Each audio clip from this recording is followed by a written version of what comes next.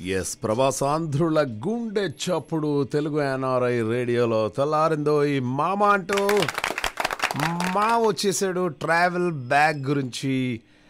చాలా బోల్డ్ని కబుర్లు చెప్పారు అండ్ ట్రావెల్ బ్యాగ్ కావాలనుకుంటే మీరు ఐఓఎస్ నుండి ఆన్ రైడ్ నుండి చక్కగా మీరు డౌన్లోడ్ చేసుకోవచ్చు.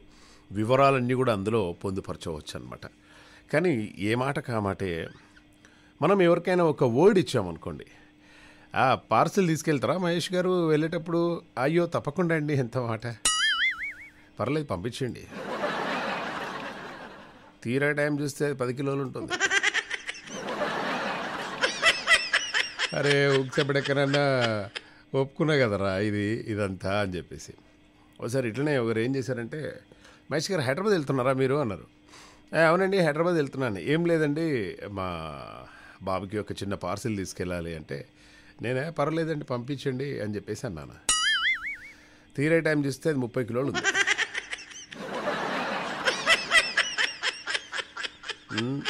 నాది ఓ ముప్పై కిలోలు ఉంది. అరవై కిలో. నేను ఎనభై కిలోలు. ఇన్ని ఇన్ని పట్టుకుపోవడం అంటే చాలా కష్టం. కదా ఇక ఈ అంటే వచ్చేంత వరకు ఓకే. వచ్చిన తర్వాత ఫర్ ఎగ్జాంపుల్ యుఎస్ నుండి ఒక పార్సిల్ మనకు వచ్చింది అనుకోండి అంటే ఎవరికన్నా ఇండియాలో ఉన్న వాళ్ళకి. ఆ పలాని రాఘవరావు గారు ఉన్నారు. అతను వస్తాడు. అతను వచ్చిన తర్వాత మీకు కాల్ చేస్తాడు. మీరు వెళ్ళి అతని ఇంట్లో పార్సిల్ చే- తీసుకోవచ్చు అని. సరే ఆయన రాక రాక ఆయన ఏం చేస్తాడు? ఆయన హైదరాబాద్ దిగేసి ఏ రాత్రి మూడు గంటలకు నాలుగు గంటలకు చక్కగా రాజమండ్రి వెళ్ళిపోతాడు. రాజమండ్రికి వెళ్ళిన తర్వాత మనం ఇక్కడ నుండి కాల్ హలో రాజారావు గారా? సార్ గుడ్ మార్నింగ్ అండి. నేను మహేష్ అండి. ఒక పార్సిల్ పంపించారు కదా.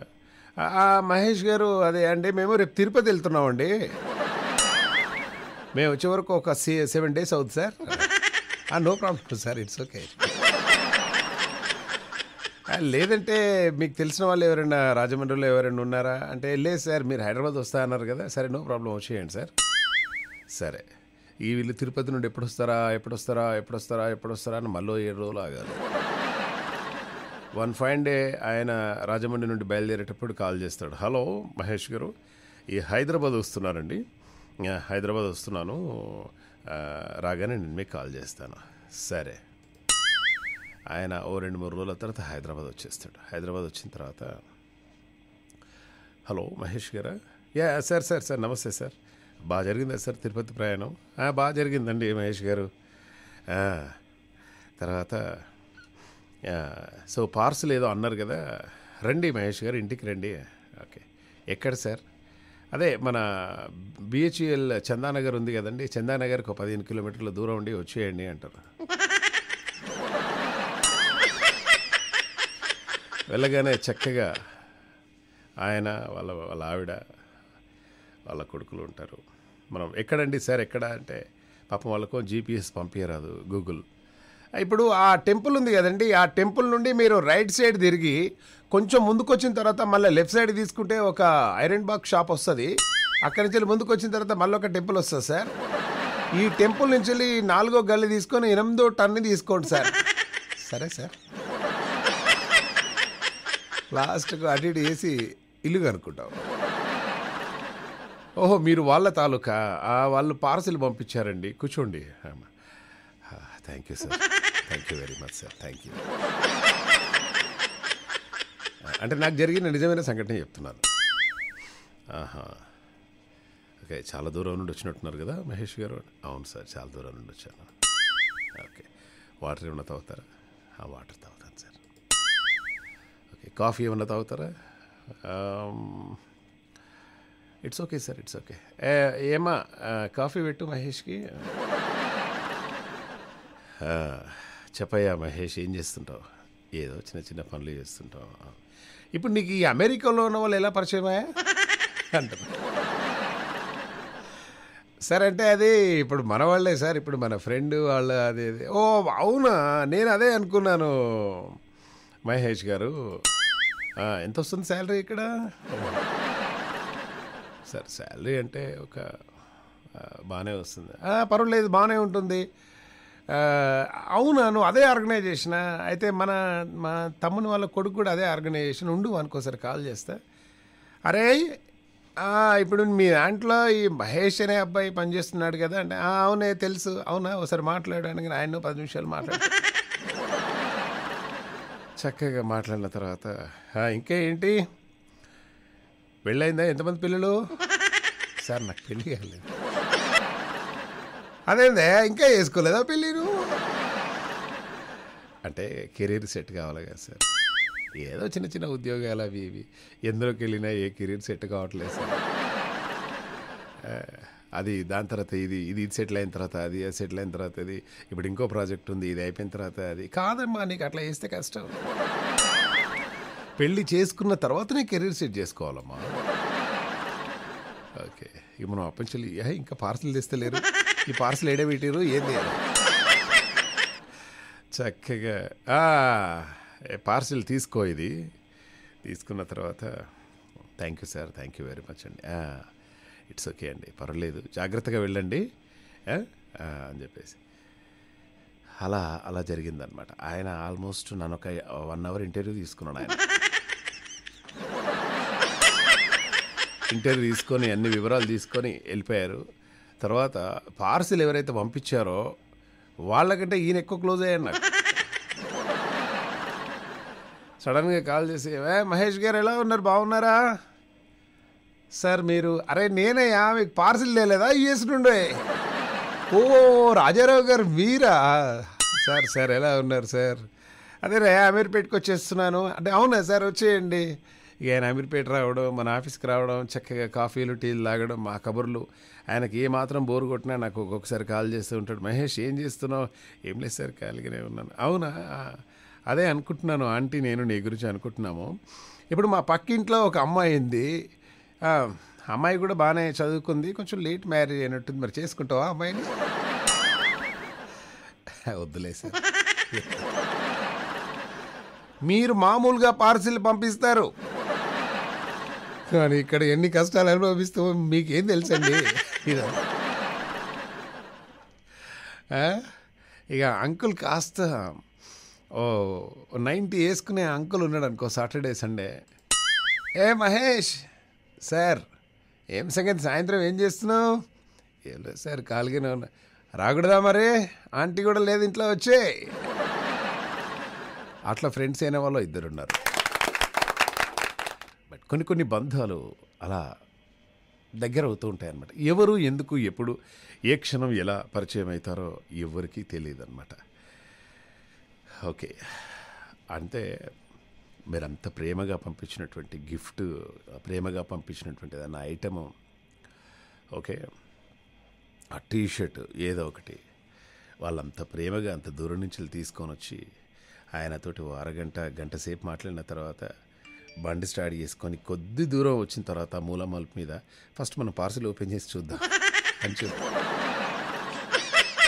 ఆతృత ఆతృత తొందరపాటు. డయాబెటీసు. చక్కగా పార్సిల్ ఇంటికి పోయి ఓపెన్ చేసుకోవచ్చు కదా రామహేష్ వాళ్ళ ఇంట్లో నుంచి వెళ్ళి మూల మలుపు మీద వెళ్ళి కొద్ది దూరానికి ఆ ఐరన్ షాప్ దగ్గరనే ఓపెన్ చేసి ఏమేమి పంపించినని చూసుకున్నాడు నాకు అర్థం కాదు ఇంకా నయం అక్కడ ఎవరు లేకుంటే వాళ్ళు పంపించిన టీ షర్ట్ కూడా వేసుకునే టైప్ మనం. ఇక అక్కడి నుంచి వెళ్ళి మళ్ళీ కోన్ పార్సిల్ వచ్చిందా? తీసుకునిరా. ఆ, ఇప్పుడే పార్సిల్ తీసుకొని బయటకు వచ్చాం వాళ్ళ ఇంట్లో నుండి. ఇంకేమైనా అడిగారా నా గురించి? వాళ్ళు మీ గురించి ఏం అడుగుతారండి? వాళ్ళు ఏం అడగలేదు. అవునా వాళ్ళు మంచివాళ్ళు మహేష్. అవునా? సరే సరే. ఇక అని చెప్పేసి అలా కొన్ని కొన్ని ఉంటాయన్నమాట. అండ్ కొందరు కొందరు బాగా రిసీవ్ చేసుకుంటారు. మీరు అంటే ఇక్కడ ఇక్కడికి వచ్చిన తర్వాత రిలేషన్స్ అన్నీ చాలా డిఫరెంట్గా ఉంటాయండి. మీరు నాకు ఇట్లనే ఒక అతను యుఎస్ నుండి ఒక పార్సల్ వచ్చింది. ఒక సిక్స్ ఇయర్స్ ఫైవ్ ఇయర్స్ క్రితం. పాప అంకుల్ చాలా దిల్దార్ అంకుల్ అనమాట ఆయన నేను మంచి చాలా క్లోజ్ ఫ్రెండ్స్ అయిపోయాం ఇప్పుడు.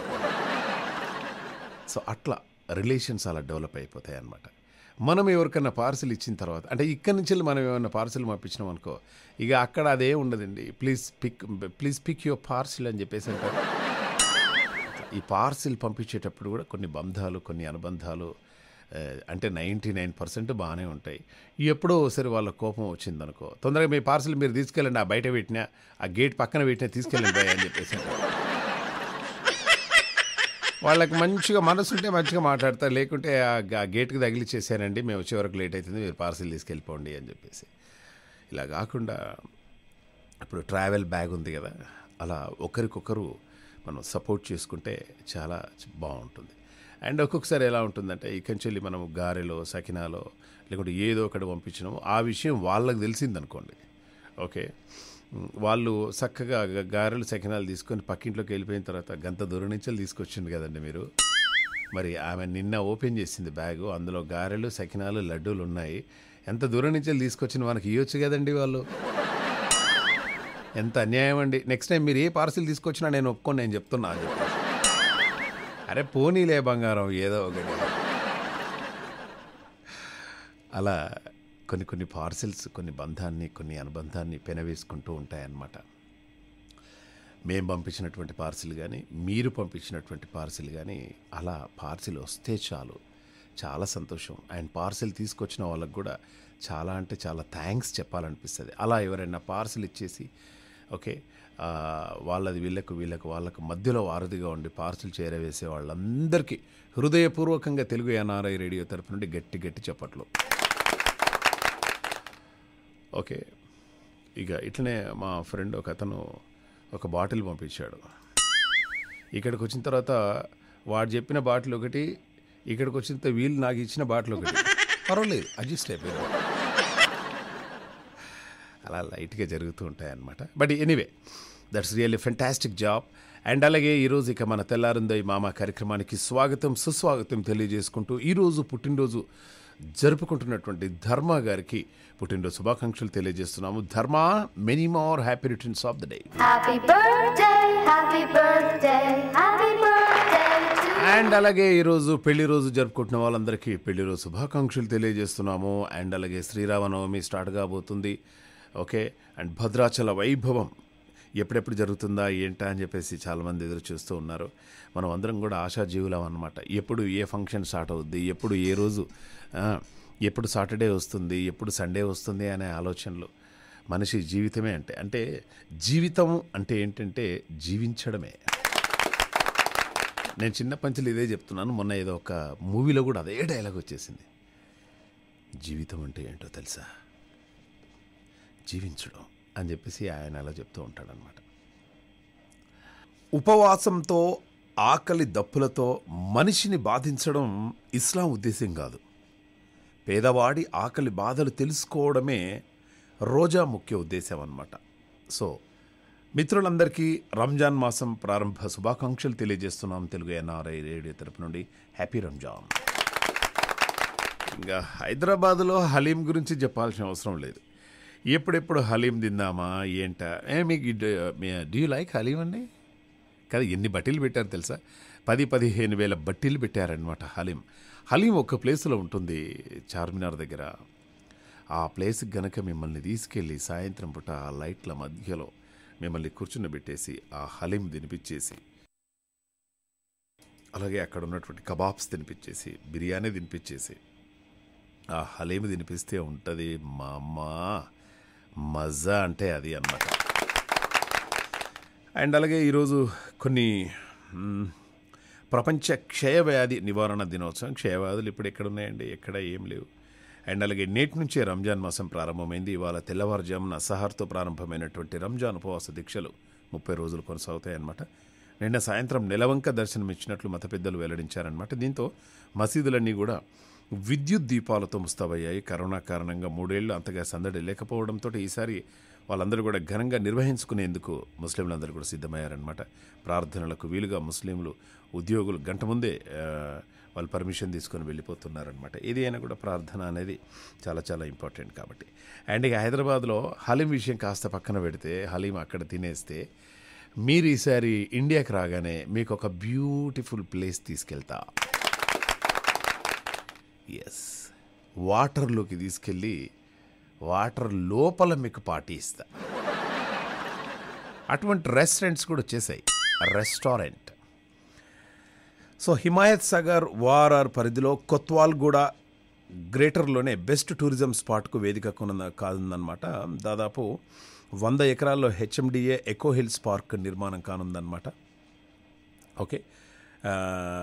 అలాగే రెండు వందల కోట్లతో దీన్ని నిర్మించబోతున్నారు. దేశంలోనే అతిపెద్ద tunnel aquarium under water restaurant food court adventure park resort అరుదైన పక్షులు ఉండేలా ఈ ఎకో పార్క్ను వాళ్ళు తీర్చిదిద్దుతున్నారనమాట under water restaurant.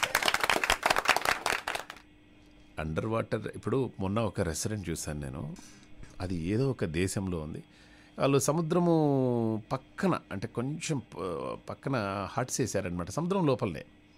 చిన్న చిన్న అలలు వస్తూ ఉన్నాయి. ఆ అలల్లో మనం కాలు పెట్టేసి మనకు ఒక హట్ ఇస్తాడనమాట ఆ హట్లో మనం కూర్చొని మనకు కావాల్సినవి అన్నీ కూడా తీసుకోవచ్చు. వాళ్ళే ఎక్కడ సప్లై చేస్తారు? చూస్తే మాత్రం అదిరిపోయింది. అండ్ ఇంకా అండర్ వాటర్లో మనం రెస్టారెంట్లో మనకి ఇష్టమైన వాళ్ళతోటి చక్కగా భోంచేస్తే ఆ అందం ఆనందం చాలా డిఫరెంట్గా ఉంటుందన్నమాట. ఓకే అండ్ అలాగే ఇంకొకటి తాజా అప్డేట్ ఒకటి తీసుకొచ్చాను. కాకుంటే మరి మనం ఫన్నీ క్వశ్చన్ ఒకటి తీసుకున్నాం కదా. మనకు మీకు ఇష్టమైనటువంటి ఫ్రూట్స్ ఏంటి? చెప్పండి మీకు ఇష్టమైనటువంటి ఫ్రూట్స్ అనగానే టక్కున మీకు ఏం గుర్తొస్తుంది? కదా? నాకు మాత్రం బనానా అంటే చాలా ఇష్టం. ఒకప్పుడు సపోటా బాగా తినేవాడిని. ఈ కచ్చకాయలు తినడం వల్ల సపోటా మీద విరక్తి వచ్చేసింది. అది సపోటా పండుగ కాకముందుకే ఒకసారి ఒకసారి రెండుసార్లు తిన్నాను. నోరంతేటో అయిపోయింది. అప్పటి నుండి నాకు దాని మీద విరక్తి వచ్చేసింది. తర్వాత మంచిగా పండినటువంటి పప్పాయ అంటే కూడా నాకు చాలా ఇష్టం. అండ్ ఇక డెఫినెట్గా తెలుసు కదా ఆరెంజెస్ అంటే కోసుకుంటాం కంప్లీట్. ఇట్లా లేడీస్ తినేటివి కొన్ని ఉన్నాయి కొన్ని ఏమో అంగూరలు ఉంటాయి అన్నమాట అంగూర్. ఓకే చాలామంది గ్రేప్స్ అంటారు. గ్రేప్స్లో కూడా రకరకాల గ్రేప్స్ వచ్చాయి. ఓకే అంగూరాలు అంటే కూడా నాకు చాలా ఇష్టం. అయితే ఒక పండు ఉంది ఈ పండు ఆడవాళ్ళు తింటూ ఉంటే ముచ్చట పడిపోద్దట అది. ఆడవాళ్ళు చూడగానే అబ్బా వీళ్ళు నన్ను ఎప్పుడు తింటే బాగుండు? నన్ను వీళ్ళు చేతిలోకి తీసుకొని నన్ను ఎప్పుడు కొరికేస్తే బాగుండు? అని ఆ పండు ముచ్చట పడిపోద్దట. అదే మగవాళ్ళు తినడానికి వెళ్ళిపోయారనుకో ఏ చే ఏ.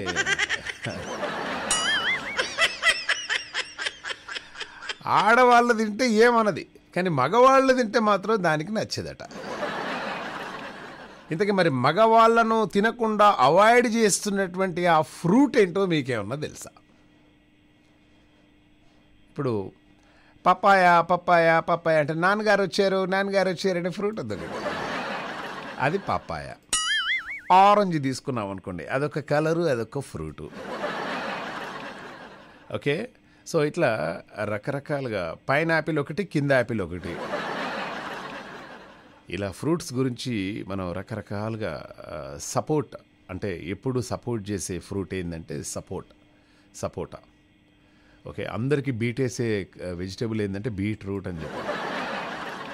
నీ రేట్ ఎంత నీ రేట్ ఎంత అని అడిగే వెజిటేబుల్ వచ్చేసి క్యారెట్. కానీ ఆడవాళ్ళు తింటే ఏమనట్లేదు కానీ మగవాళ్ళు తింటే మాత్రం దూరం కొట్టేస్తుంది అందరిని. చిపో? అన్నారు అండ్ ఆ పండు ఎప్పుడు మా ఆడవాళ్ళ చేతిలోకి వెళ్ళేసి అలా వాళ్ళ చేతులతోటి ఆ ట్యాప్ కింద నీట్గా కడుక్కొని ఆడవాళ్ళు ఎప్పుడు ఆ పండు ఆ పండుకి ముద్దు పెట్టేసి దాన్ని కచక్కన కొరికేస్తే చాలు మా జీవితం ధన్యం అనుకునే కొన్ని ఒక ఒక ఫ్రూట్ ఉందన్నమాట. పొరపాటున మన మగవాళ్ళు ఆ ఆ ఫ్రూట్ను టచ్ చేసిన ఆ ఫ్రూట్ తినడానికి ట్రై చేసిన ఏపో చి గలీజ్గా. నువ్వు మీరు తినడం ఏంటాడండి అసలు. ఆడవాళ్ళని దగ్గర తీసుకొని మగవాళ్ళని దూరం కొట్టే ఆ ఫ్రూట్ మీకేమన్నా తెలిస్తే చెప్పేసే ప్రయత్నం చేయండి. మీరు అనుకోవచ్చు ఏంటబ్బా? ఇలాంటి ఫ్రూట్ కూడా ఉందా? Nine seven zero five triple two double zero five. Okay. ఇప్పుడు మనకు హాలిడే వచ్చేసింది. సండే అంటే అందరికీ ఇష్టం. ఓకే? అంటే కాసింత పని పక్కన పడేసి హాయిగా కాసింత రిలాక్స్గా అబ్బా ఏం లేదు ఇంకా రేపు మంచిగా ఉండొచ్చు అని చెప్పేసి జనరల్గా ప్రతి ఒక్కరు కూడా కోరుకునేదే కదా? కానీ పశువులు కూడా కోరుకుంటాయి ఒక దగ్గర. వీడు రోజు వస్తాడు నేను ఇచ్చేది ఒక లీటర్ పాలు ఈ మహేష్ గాడు చేసి రెండు లీటర్లు పిండేస్తాడు.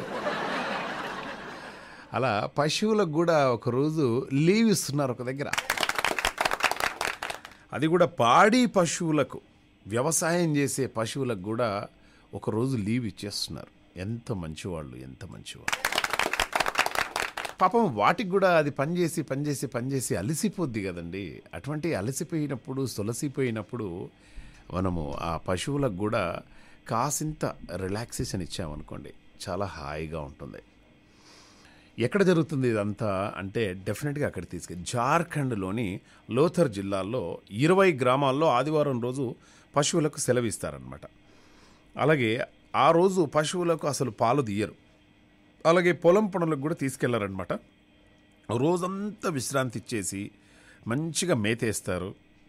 ఆదివారం రోజు వాటికి బదులుగా రైతులే స్వయంగా ఈ వ్యవసాయ పనులు చేసుకోవడానికి ఇష్టపడతారనమాట ఈ సంప్రదాయం వందేళ్ళుగా తమ పూర్వీకుల నుంచి ఆచరిస్తున్నామని అక్కడి రైతులు చెబుతున్నారు. ఇక్కడ మనోళ్ళకు అటువంటి ఆలోచన లేదు. ఎప్పుడైనా కూడా అది హాఫ్ లీటర్ పాలిస్తే ఎట్లనే వేసి లీటర్ పిండాలనే ఆలోచన తప్ప మిగతాది ఏం లేదు. అండ్ ఇప్పుడు ఆదివారం పాలు పిండ వాళ్ళు పాలు పిండలేదనుకో ఇక ఆ చిన్న చిన్న దుడ్డేలు ఉంటాయి కదండి. అబ్బా! ఈరోజు మొత్తం పొట్ట నిండా పాలు పొట్ట నిండా పాలు తాగొచ్చు అని చెప్పేసి వాటి ఆనందం వేరు వాటి సంతోషం వేరు. సో ఇలా ఇలా ఇరవై గ్రామాలే కాకుండా మిగతా మిగతా వాటిని కూడా ఇలా చేస్తే చాలా బాగుంటుంది. ఎందుకంటే తల్లికి బిడ్డ అంటే ఇష్టం బిడ్డకు తల్లి అంటే ఇష్టం. ఇలాగే పాపం కూతురికి పాము గరిచింది పాము గరిచినప్పుడు ఏం చేయాలో అర్థం కాలేదు ఆమెకి. కర్ణాటకలోని పుత్తూరు జిల్లాలో కేయూరు గ్రామానికి చెందినటువంటి మమత సతీష్ దంపతుల కూతురు శ్రావ్య. తల్లి మమత మొక్కలకు నీళ్ళు పోస్తున్నటువంటి సమయంలో పాము కాటు వేసింది. డిగ్రీ చదువుతున్నటువంటి కూతురు శ్రావ్య సమయస్ఫూర్తితో విషం శరీరం అంతా వ్యాపించకుండా నోటితో తీసేసిందనమాట తీసేసి తర్వాత హాస్పిటల్కి తరలించి ఆ తల్లిని ప్రాణాపాయ స్థితి నుంచి కాపాడింది.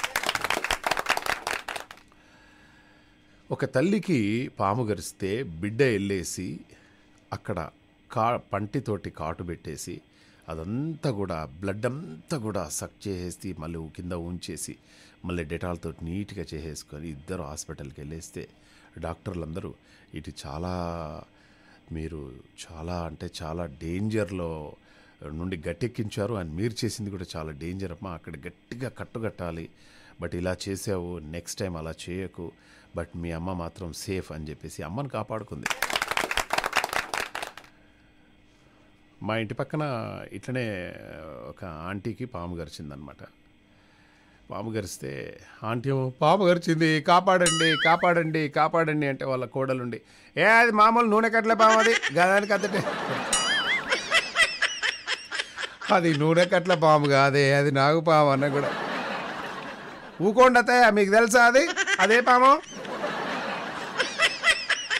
అసలు ఆ లెక్కన చూస్తే అది పాముడు కాదు అదే ఒక తాడున్నట్టుంది అన్నది. తాడు కాదేం కాదే తొందరగా తీసుకెళ్ళే ప్లీజే లాస్ట్కి వాళ్ళు వీళ్ళందరూ కూడా బతలాడి అప్పుడు హాస్పిటల్ తీసుకొని పోతే ముసలామె బతికింది. బతికిన తర్వాత ఇక ఈమెతో గొడవ కాదని ఇప్పుడు ఆమె ఆమె వండుకుంటుందట ఈమె ఈమె వండుకుంటుందట. పక్కింట్లోకి వెళ్ళిన తర్వాత నా కోడలు మొన్న పాము గరిస్తే ఏం కాదు ఏం కాదు ఏం కాదు ఇది ఇది తాడు అని చెప్పేసి అన్నదవ్వా. నేను నేను చేస్తేనే దానికి మంచిగా నిమ్మలంగా ఉండేటట్టుందమ్మా. నాకు అర్థమైంది. ఆ రోజు నుంచి నాది నేను వండుకుంటున్నా. ఆమె ఆమె వండుకుంటుంది అని చెప్పేసి చెప్తున్నారనమాట ఓకే? అండ్ అలాగే ఇప్పుడు మీకు సాలార్జింగ్ మ్యూజియం చూస్తారా? నేను ఒక లింక్ ఇస్తాను. అమ్మో నేను ఇచ్చిన లింక్ కూడా క్లిక్ చేయొద్దు మీరు. ఇప్పుడు ఏ లింక్ క్లిక్ చేసినా కూడా చాలా అంటే చాలా కష్టం.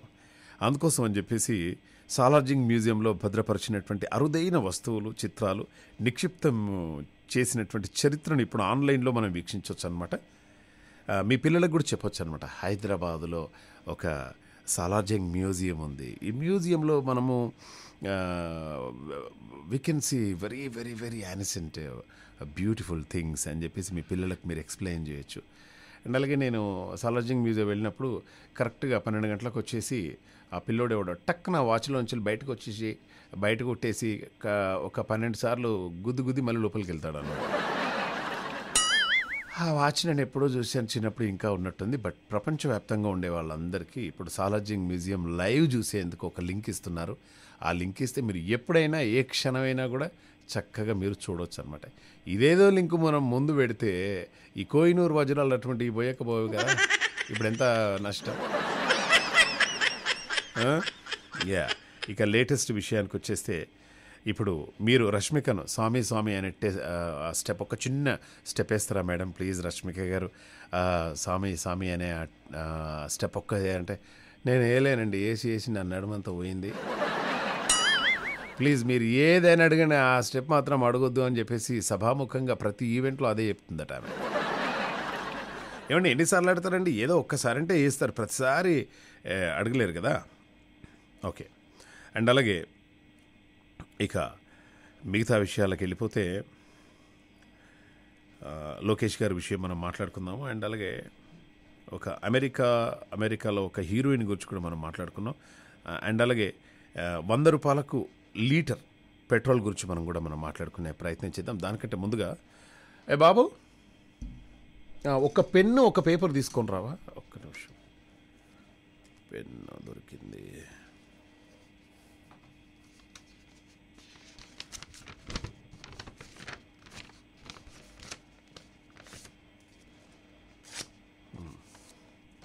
డిక్షనరీ ఉన్నది చూసి తీసుకురావటి. తెలుగు డిక్షనరీ.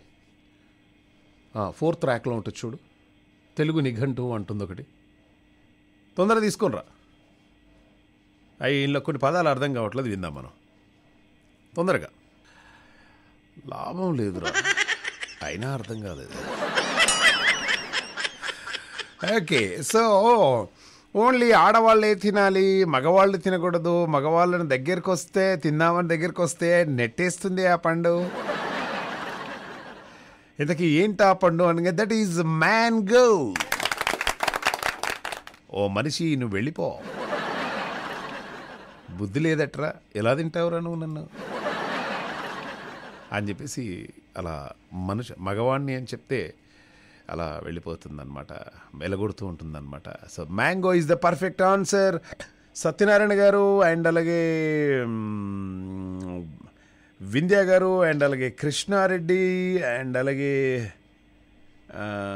విధాల ఎవరో మెసేజ్ చేశారు. అండ్ అలాగే చిమ్మపూడి శ్రీరామూర్తి గారు అండ్ లక్ష్మి గారు. ఇది లైవ్ కదా అండి? అన్నది లైవ్ అండి. మ్యామ్ ఇది లైవ్ షో ఓకే. అండ్ అలాగే మొన్న ఇళయరాజా మ్యూజిక్ కన్సర్ట్ ఒకటి జరిగింది హైదరాబాద్లో. ఇప్పుడిప్పుడే డెవలప్ అవుతుందన్నమాట హైదరాబాద్. మ్యూజిక్కి ఇంపార్టెన్స్ ఇస్తున్నారు. నాదస్వరానికి ఇంపార్టెన్స్ ఇస్తున్నారు. రవీంద్ర భారతిలో కొన్ని కొన్ని వీ- వీకెండ్స్ అలా షెహనాయి అని దాని తర్వాత హిందీ షాయరీస్ అని చెప్పేసి మంచి మంచి కార్యక్రమాలు జరుగుతూ ఉంటాయి. అటువంటి అభిలాష ఉన్న వాళ్ళే అక్కడికి వస్తారనమాట అండ్ ఓల్డ్ హిందీ సాంగ్స్ పాడే వాళ్ళు ఉంటారు కొందరు. అటువంటి మ్యూజిక్ కన్సర్ట్ కూడా ఎప్పుడు కూడా జరుగుతూనే ఉంటుందన్నమాట. కాకుండా ఈసారి స్ట్రీట్ కార్స్ మరియు ట్యుటోరియల్స్లు పాయింట్ సంయుక్తంగా హైదరాబాద్లోనే అతిపెద్ద సంగీత ప్రదర్శన ఆర్ఎఫ్సి నైన్ పాయింట్ జీరో నిర్వహిస్తున్నాయన్నమాట. ఏప్రిల్ ఎనిమిదిన ఎల్బీ స్టేడియం ఈ వేడుకకు వేదిక కానుంది. అలాగే అర్మాన్ మాలిక్ అండ్ అలాగే బ్రాండ్ కప్రిషియోల ప్రదర్శన మీకు గొప్ప అనుభవంగా మిగులుతుంది అని చెప్పేసి చెప్తున్నారనమాట ఈ దీంతో వచ్చినటువంటి డబ్బు ఏదైతుందో అది వివిధ సేవా కార్యక్రమాల కోసం ఉపయోగించబడుతుంది. సో ఈ అద్భుతమైనటువంటి వేడుకను మీరు మిస్ కావద్దండి. ఇది ఎక్కడ జరుగుతుంది ఏంటి అని కనుక్కొని చక్కగా Hmm? మ్యూజిక్ కన్సర్ట్కి వెళ్ళిపోతే అయిపోతుంది. అంటే ఒక అభిలాష ఒక ఇష్టం ఇవన్నీ ఉండాలండి. సాటర్డే సండే వచ్చిందంటే బట్టలు ముందేసుకొని అది అది కాదు. సాటర్డే కానీ సండే కానీ చక్కగా ఓ నాలుగు గంటలకు అలా కారు తీసుకొని ఆ సండే రోజు ఏమేమి హైదరాబాద్లో బిర్యానీ ఫెస్టివల్స్ జరుగుతున్నాయి? ఎక్కడెక్కడ ఫుడ్ ఫెస్టివల్స్ జరుగుతున్నాయి? ఎక్కడెక్కడ నుమాయిష్ జరుగుతున్నాయి నాంపల్లి పబ్లిక్ గార్డెన్స్లో జరుగుతున్నటువంటి ఎగ్జిబిషన్స్ జరుగుతున్నాయి ఎక్కడెక్కడ కొత్త రెస్టారెంట్స్ పడ్డాయి ఎక్కడెక్కడ కొత్త షాపింగ్ మాల్స్ ఓపెన్ చేసాయి హైదరాబాద్లో ఎన్ని ఎన్ని ఎన్ని ఎన్ని. మొన్న మన రమేష్ అనే ఒక మిత్రుడు Asian Institute of Gastroenterology okay AIG అక్కడికి వెళ్ళ వెళ్ళడం జరిగిందనమాట ఐకియా అదే ఏరియాలో ఉంటుంది గచ్చిబౌలిలో. గచ్చిబౌలికి వెళ్తే అదే అదేంటండి ఆఫీస్ అది? ఆఫీస్ గుర్తు రావట్లేదు ఎంత అది అసలు అది? నేను చాలా గొప్పగా ఫీల్ అయ్యాను ఆఫీస్ చూసి. డె డెలాయిటా?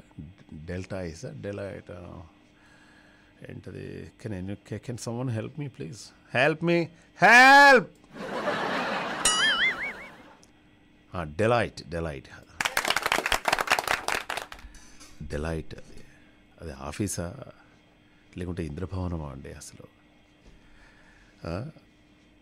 ఒక్కసారి అక్కడ కారు ఆపుకొని.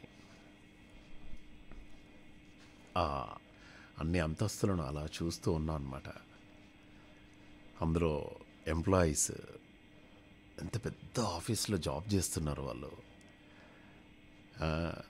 సరే ప్రొఫెషన్ ఏదైనా ఓకే. అంత అంత మంచి ఆఫీస్లో అన్నీ అందులోనే ఉంటాయట. ఫుడ్ అందులోనే ఉంటుందట. సరదాగా రిలాక్స్ అందులోనే ఆటలు ఆడుకోవచ్చు పాటలు పాడుకోవచ్చు మంచిగా జాబ్ చేసుకోవచ్చు. Oh my god! హైదరాబాదులో డెలైట్ ఆఫీస్ ఇంత బ్యూటిఫుల్గా ఉందా? అండ్ అలాగే ఇంకా కొన్ని కొన్ని అపార్ట్మెంట్స్ అనమాట మై హోమ్స్ మై హోమ్స్ భుజ అని చెప్పేసి మై హోమ్స్ భుజాను అలానే సరే కొన్ని కాల్స్ వస్తున్నాయి తీసుకోలేకపోతున్నాను. నెక్స్ట్ పద్మజ గారి షో ఉన్నది కాబట్టి. మై హోమ్స్ భుజ అని అలా చూస్తూ ఉన్నాను. ఇంక ఇంకా పెద్ద పెద్ద apartments.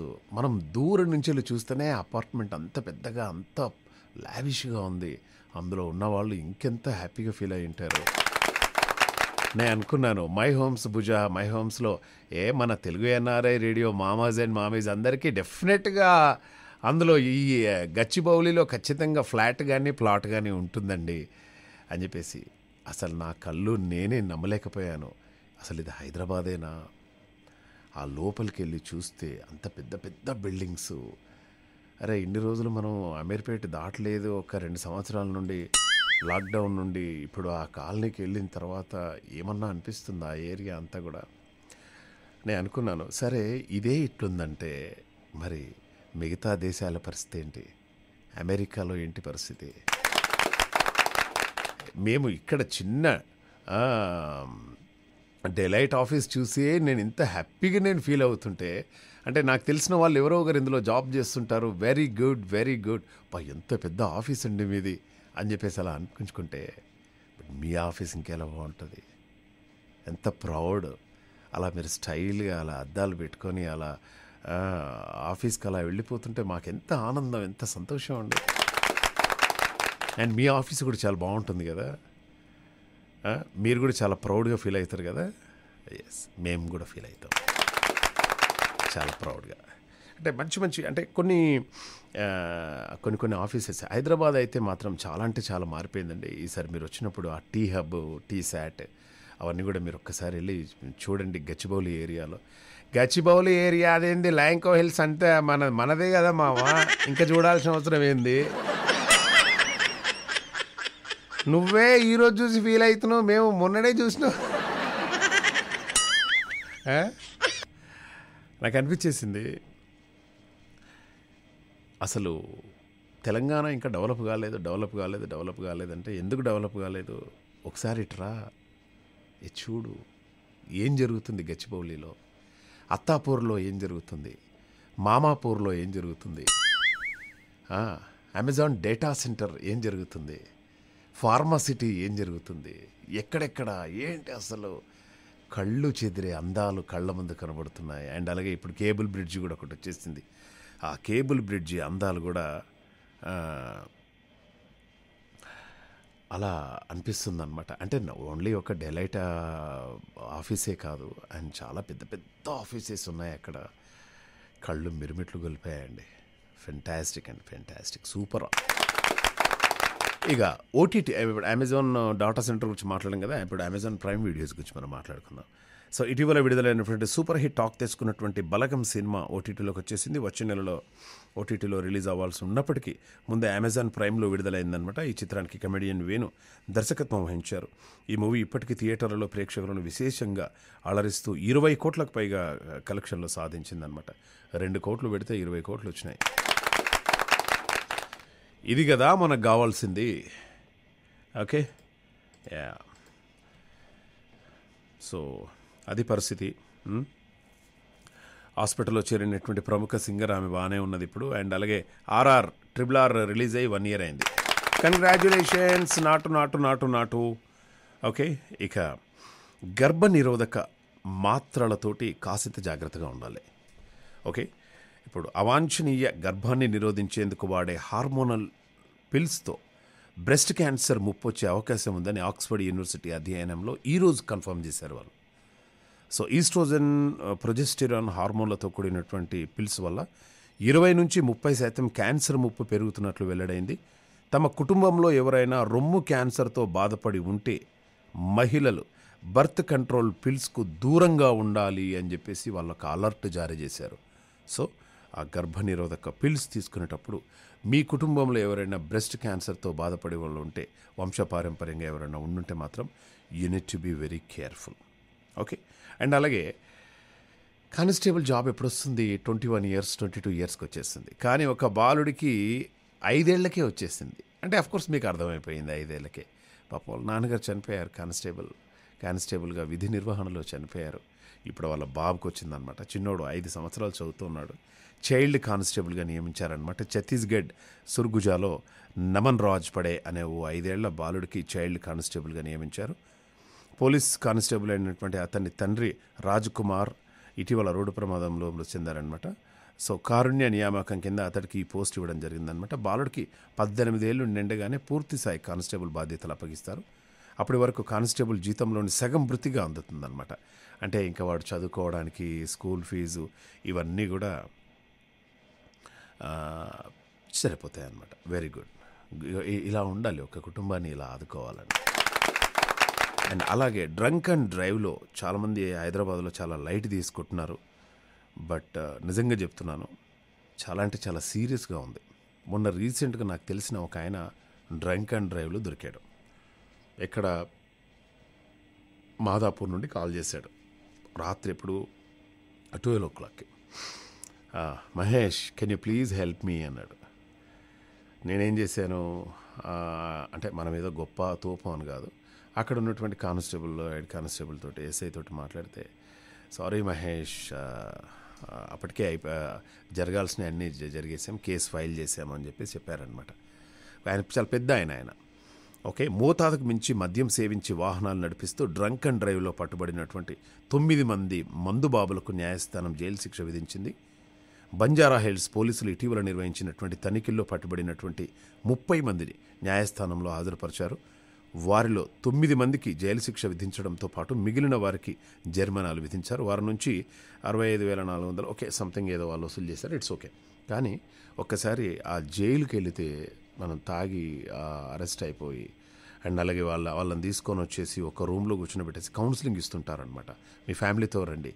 Come with your wife and come with your daughter come with your son అని చెప్పేసి ఫ్యామిలీతోటి తీసుకొని వచ్చినప్పుడు అంతమంది అక్కడ ఫ్యామిలీని తీసుకొని పోయి మనం ఆడ నిలబడి మీకు ఎక్కడ తాగారు ఏంటి అని ఎక్స్ప్లెనేషన్ ఇస్తుంటే చాలా గలీజ్గా ఉంటుందండి. సో అందుకోసం చక్కగా మీ భార్య కొట్టినా మంచిదే తిట్టినా మంచిదే. ఒక పావురం తెచ్చుకోండి ఇంటికి. ఓకే? అండ్ అలాగే ఆ సాల్టెడ్ పల్లి అండ్ కొంచెం కారం పల్లి ఏదో వేయించుకోండి మంచిగా. ఎక్కువ స్టఫ్ తినకండి. ఆమెకు తిడితే ఆమెనే తిట్టింది కొడితే ఆమెనే కొట్టింది. బేబీ నేను బయటికి వెళ్తున్నాను. ఫ్రెండ్స్ తోటి తాగడానికి అని చెప్పేసి అంటే ఒకటే మాట. ఏంటి? అదే friends I mean friends party ఉండే ఈరోజు వెళ్దాం అనుకుంటున్నాను. వెళ్ళండి. అంటే అట్లా కాదు. వెళ్దాం అనుకుంటున్నాను. అరే వెళ్ళుమని చెప్తున్నాను కదా. ప్లీజ్ నువ్వు అట్లా మాట్లాడకు. ప్లీజ్ నువ్వు అలా మాట్లాడకు. నేనేం మాట్లాడినా? నువ్వు వెళ్ళు. నువ్వు వెళ్ళు. ప్లీజ్ నువ్వు అట్లా కోపంగా అనక. ఫ్రెండ్స్ది బర్త్డే ఉన్నది అందరు ఒక దగ్గర గెట్ టుగెదర్ అవుతున్నారట నేను వెళ్దాం అనుకుంటున్నానంటే. నేను వెళ్ళుమని ఇక్కడ పదిసార్లు చెప్తున్నా. నువ్వు వెళ్ళు. నువ్వు వెళ్ళనైతే వెళ్ళు. ట్రింగ్ ట్రింగ్ ట్రింగ్.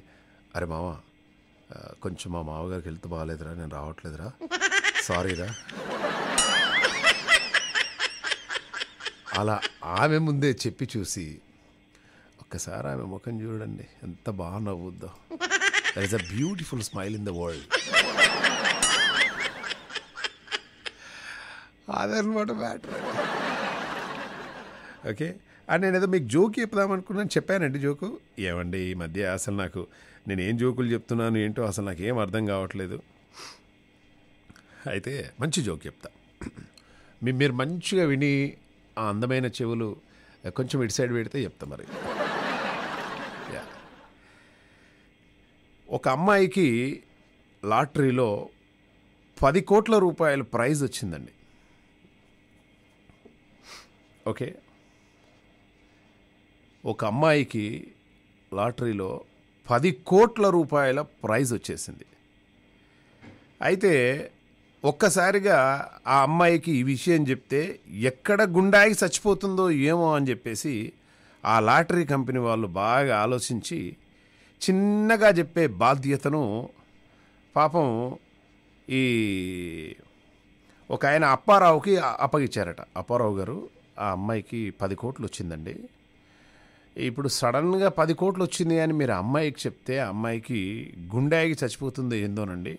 అప్పారావు గారు మీరు అమ్మాయి దగ్గరికి వెళ్ళేసి చెప్పండి చాలా జాగ్రత్తగా చెప్పండి మెల్లగా చెప్పండి అని చెప్పేసి అనగానే ఈ అప్పారావు ఆ అమ్మాయి దగ్గరికి వెళ్తాడనమాట వెళ్ళేసి హలో హలో అండి.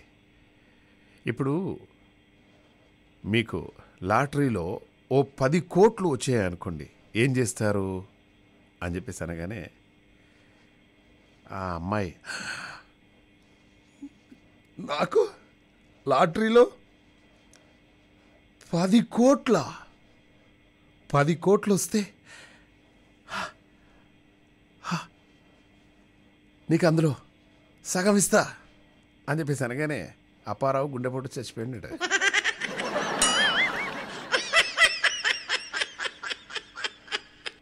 బాగుంది కదా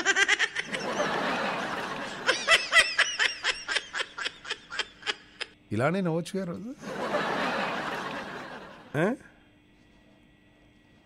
ఓకే ఇక రేపటి తెల్లారుందేమో కార్యక్రమం. మళ్ళీ కలుసుకునే ప్రయత్నం రేపంటే రేపు కాదు. మళ్ళీ మనం మండే రోజు కలుసుకునే ప్రయత్నం చేద్దాం.